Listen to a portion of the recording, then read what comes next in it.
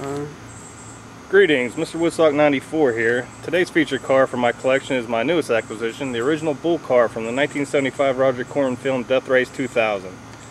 The car is also seen in the 1988 movie Earth Girls Are Easy and the 1976 movie Hollywood Boulevard, although that's a neat movie, a lot of the car scenes are just recycled from Death Race 2000. Uh, this car was built by uh, built for Death Race by Mr. Dean Jeffries, creator of the Monkees Mobile GTO and the original Black Beauty of the Green Hornet series that was driven by Bruce Lee. Uh, Mr. Jeffries also did the custom paintwork on James Dean's Porsche Spyder that he died in.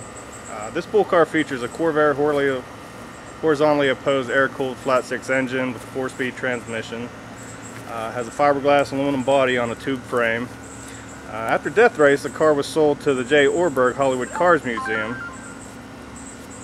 uh, then a few years ago sold to the Volo Car Museum just outside Chicago. Uh, I believe I'm the first private owner of the vehicle. Since fiberglass body didn't hold up well to the crash and bump scenes in the movie, the, the museum chose to cover it in real brown and white cowhide. Remember, this car was built the last three weeks of filming, not 35 years. Uh, the Volo Museum replaced the brown and white cowhide with this black cloth uh, when they restored it. It's okay, but my intention is to take it back to movie specs. Uh, I'll be adding more videos as the restoration continues.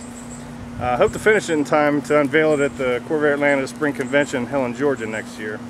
Uh, thanks for watching and uh, look for more videos soon. See ya.